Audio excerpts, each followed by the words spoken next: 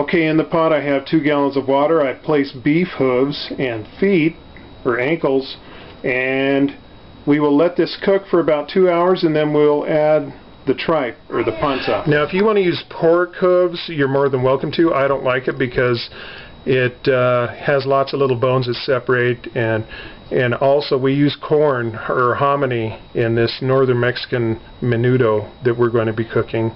Um, if you go further south, uh, they don't use any corn at all. And other regions they, they call it pozole. But I grew up calling it menudo.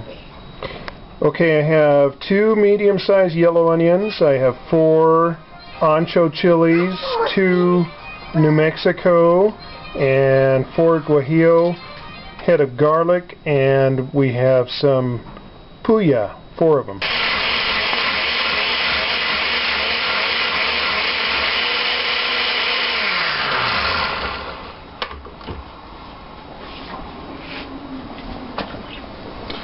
Alright, so I've used some of the stock as liquid for grinding the chili and we've added the uh, the onion and the garlic, minced them, and we're ready to chop the meat. Alright, I have two packages of stomach. This is the second, and you basically just want to cut it in even bite-sized pieces Okay, here's the finished product. We have some red menudo with some hominy. For garnish, we have some lime, we have cilantro and onion mix, some crushed red pepper if you want it a little spicier, and we have some corn tortillas. Javier, is it good? Uh-huh. Mmm. You like it, Lydia? Mm-hmm.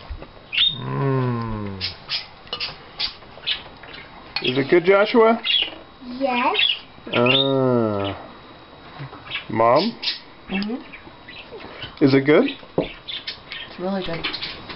This is his second bowl of menudo. Yep,